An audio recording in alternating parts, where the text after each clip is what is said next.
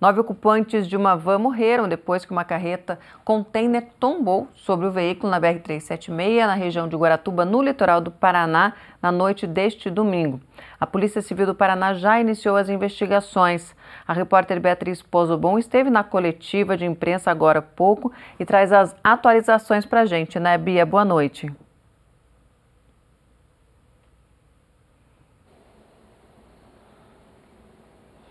Olá, Jusá. Olá para todos que nos acompanham.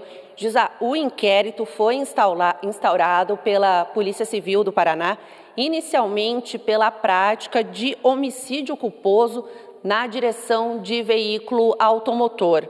O motorista do caminhão que bateu na van, ele sofreu ferimentos leves.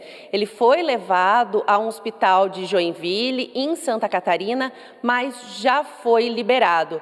A Polícia Civil entrou em contato com este condutor que se comprometeu a comparecer à delegacia de Guaratuba na tarde de hoje, mas ele não apareceu, Gisá.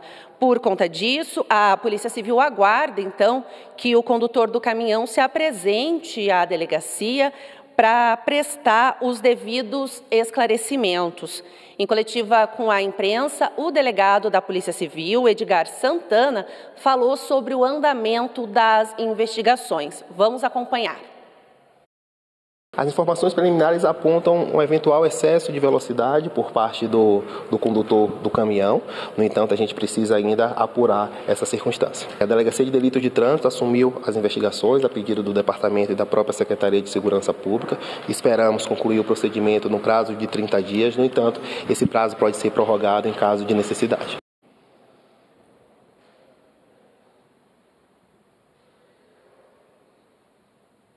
Lembrando que esse acidente ele ocorreu por volta das 9h40 da noite na BR-376, na região da Serra, ali na altura de, de Guaratuba, no litoral do estado. Essas vítimas da van eram 10 ocupantes, nove morreram, e entre essas nove vítimas eram sete adolescentes entre 15 e 20 anos de Zá. Esses adolescentes eles estavam retornando aí de um campeonato em São Paulo, que eles foram participar, eles, são, eles eram atletas de um projeto social de remo em Pelotas, no interior do Rio Grande do Sul, estavam retornando para o município gaúcho quando aconteceu esse acidente que vitimou então nove pessoas. Além do, dos adolescentes, também morreram o motorista da van e também o coordenador do time.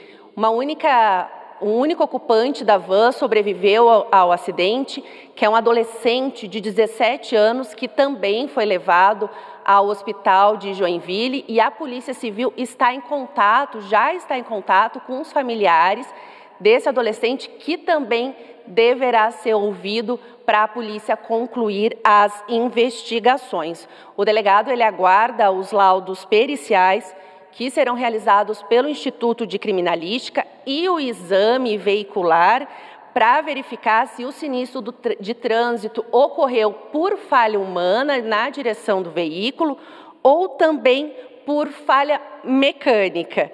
E outra informação que a gente tem, Josá, é que a FAB, a Força Aérea Brasileira, ela vai fazer o transporte dos nove corpos daqui de Curitiba até Pelotas em uma aeronave, corpos que devem chegar ao estado gaúcho até amanhã de manhã. A gente aproveita aí para prestar nossa solidariedade, as nossas condolências aos familiares das vítimas desse acidente que aconteceu aqui na região de Guaratuba, no nosso estado, vitimando aí nove pessoas, sendo sete adolescentes e mais um motorista da van e o treinador do time. Gisá, de volta com você.